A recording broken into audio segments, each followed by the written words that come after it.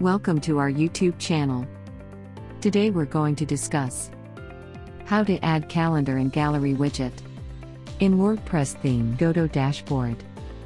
Click on Appearance. Click on the widget.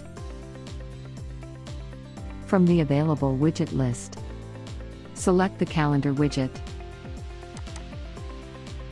Click on the Shop Page sidebar. Add to widget. Write title for it.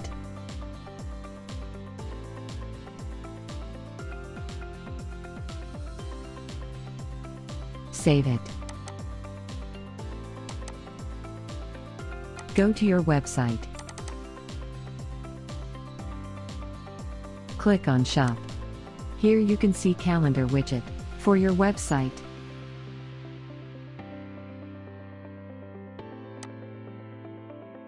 Click on Appearance. Click on the widget. From the available widget list, select Gallery option. Click on the Shop Page sidebar. Add to widget. Write title for it.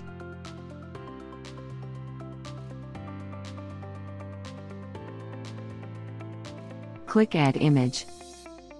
Select the file you want for your gallery.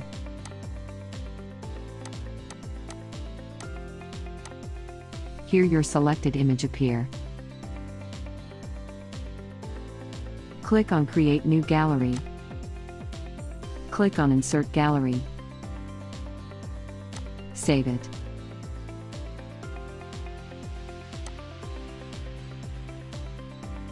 Now go to your website.